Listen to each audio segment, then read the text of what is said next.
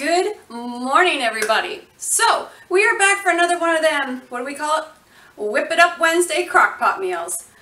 Um, so, as you guys already know, I'll repeat it again, this is a collaboration between Lisa from Sutton's Daze, Mandy from More to Life, Heather, the Kneady Homesteader, and Linda from Linda's Pantry, and me, myself, Tina from Wilhelm's Kitchen.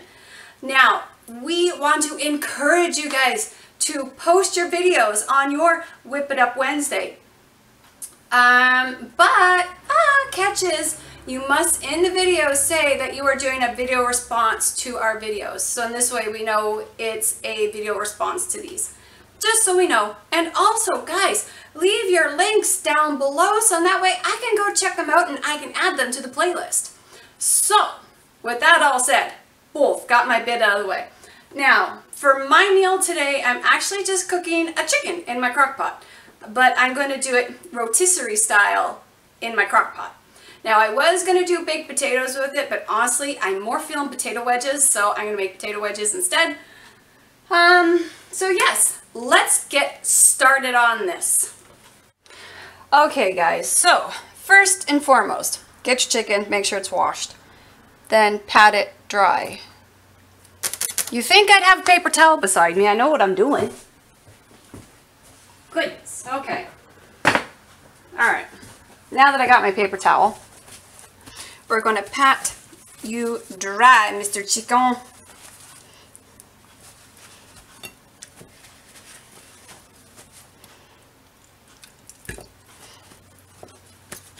Pat, pat, pat. Okay. Set that in the sink. Now, just trying to flatten him out a little bit. He got a little maneuvered in my freezer. There we go. Okay, I'm going to keep reaching in front of you because I got to wash my hands. So, I'm going to take a little bit of sesame oil. I'm using sesame oil. I'm using pure sesame oil. I'm using it just to give it a little extra flavor, but you can use whatever oil you'd like to use. Get that massaged into the chicken. Whew, it already smells good. It's just from that sesame oil. Mm-mm-mm. Okay.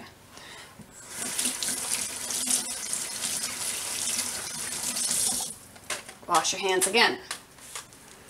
Now I don't have a towel beside me. Because that is super smart. That's alright. Okay. We're going to take our, I'm using some Old Bay seasoning, dill, onion powder, garlic powder, and a little bit of rosemary on mine.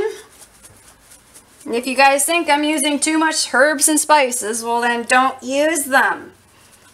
Sorry, I get that comment a lot.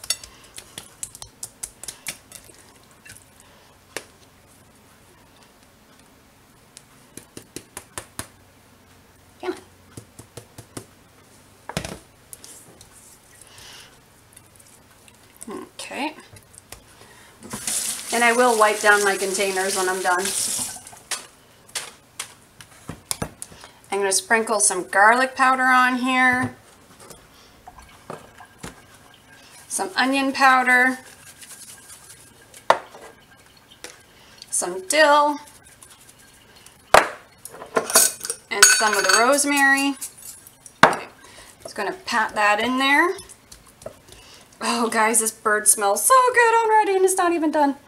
Okay, do it again on the flip side. Onion powder, or garlic powder, onion powder,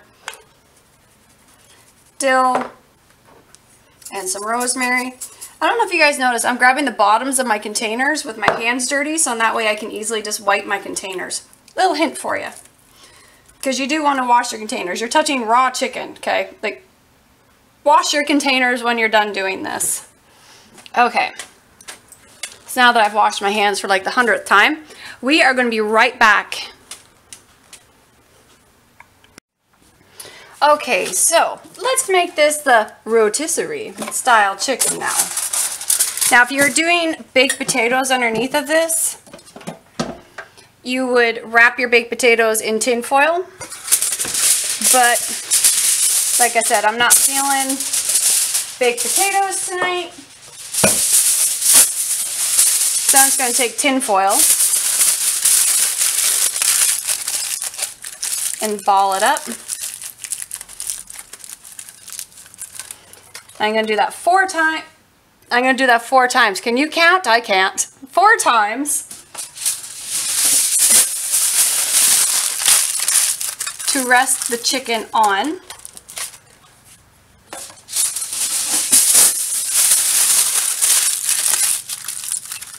Now, if you do baked potatoes with this, the juice goes into the into the potato and cooks it and makes it just so yummy and delicious. But like I said, I, just, I wasn't feeling, not feeling baked potatoes with this tonight.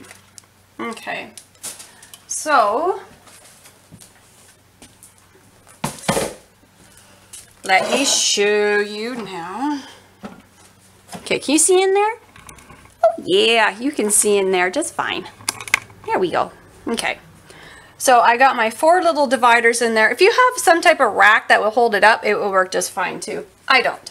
I use tin foil. So now what I'm going to do is take my chicken. I'm going to move my strainer a bit. I'm going to take my chicken and make sure it's sitting right on those pieces of tin foil Beautiful. Let me wash my hands. Okay, and that's it. I'm not adding any water to this, no stock, no nothing. I'm just going to put my lid on it. I'm going to get a tea towel. I'm going to set it on top. If you have one of them insulator things, then use that. I don't. I'm cheap. I choose tea towel. And let this cook for six to eight hours and we will be back because it is 9.30 now and this will go until closer to 4 probably. 4 so yeah give or take. So we'll be back. Okay guys so I thought why not? I'm gonna add a little blubbit here of me making potato wedges to go along with the roasted chicken I've got, I think, six potatoes, six good sized potatoes in here. And I just added probably two tablespoons of olive. What am I using? I'm not using olive oil. I'm using avocado oil this time. Just going to toss that around in there. Mind the cupboard door. Add some salt. Because as Grandma always said, potatoes and salt are best friends. Which, you know, she was right. Alright, and then I'm to add in my typical onion powder.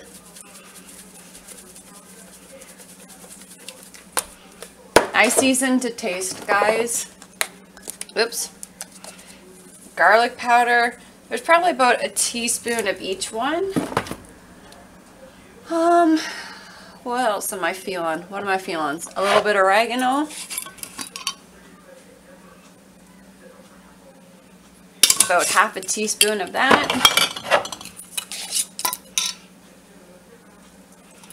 About half a teaspoon of basil.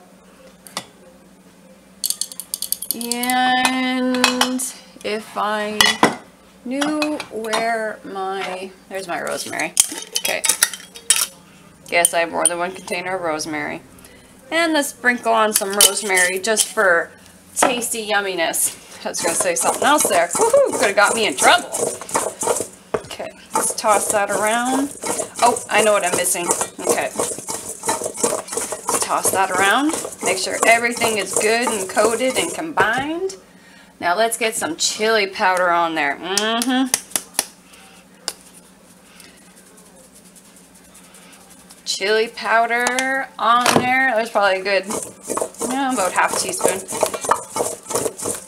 Get that coated. And I have my oven preheating to, what is it, 450. Because I want these to crunch right up. I don't deep fry any, I don't deep fry anything, guys. Have you noticed that on here yet? I don't own a deep fryer. Alright. So let me get that out of the way. Bring my cookie sheet over, which actually, normally I don't spray it, but I am going to spray it because I really don't want these potatoes to stick. And there we go.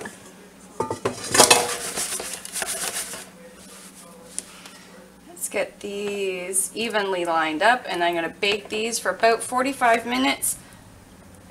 I'll go in part of the way through and give it a stir just so that way stuff doesn't stick and burn.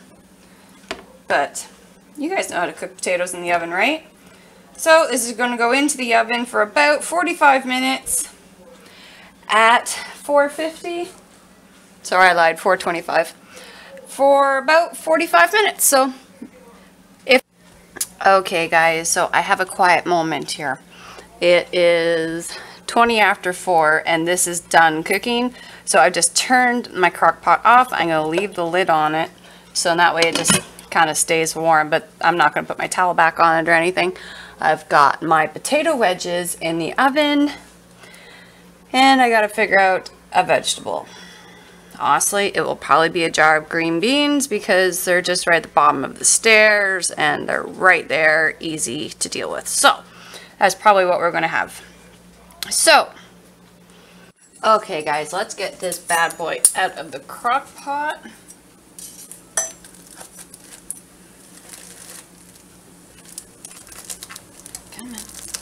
Oh yeah, that's just to fall apart. Mm-hmm.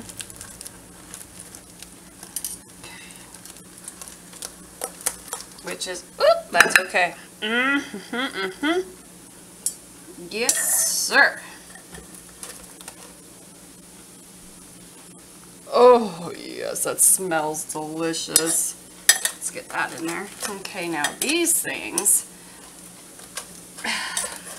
the tin foil,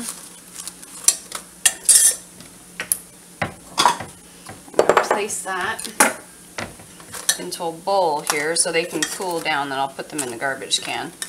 They've done their job.